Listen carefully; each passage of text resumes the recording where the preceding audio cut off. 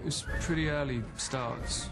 Saying that, like, you can't really complain. When you, whenever you arrive, however early you arrive, there's always 500 people there who've been there for like two hours.